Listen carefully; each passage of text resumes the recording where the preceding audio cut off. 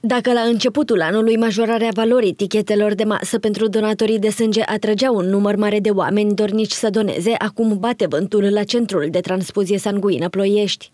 Sunt aceleași beneficii pentru care lumea se înghesuia la începutul anului, valoarea tichetului de masă care este 280 de roni, uh, ziua liberă, decontarea transportului pentru cei care vin din afara orașului Ploiești, uh, reducerea de 50% la abonamentul ATP pentru ploieșteni. Sunt exact aceleași beneficii, analizele care se pot obține la donare. În ciuda acestor beneficii, tot mai puțini prahoveni merg să doneze sânge. Așa cum în fiecare vară ducem lipsă de donatori și în această vară numărul de prezentări zilnice la centru de transfuzie au scăzut foarte mult. Poate este și canicula de vină, pentru că în general oamenii evită să mai iese de în casă pe această căldură.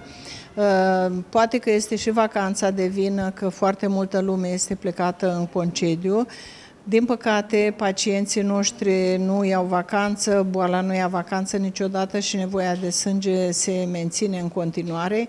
Sunt prezenți în continuare donatorii fideli. Dacă, în general, de la începutul anului am avut o medie de prezentări de în jur la 100 de persoane, uh, în ultimul timp uh, sunt ceva mai mulți donatori care vin lunea și vinerea, în capetele săptămânii, dar în mijlocul săptămânii numărul de prezentări este scăzut.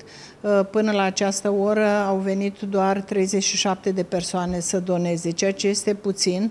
Centrul de transfuzie sanguină Ploiești este deschis de luni până vineri între orele 7.30 și 13.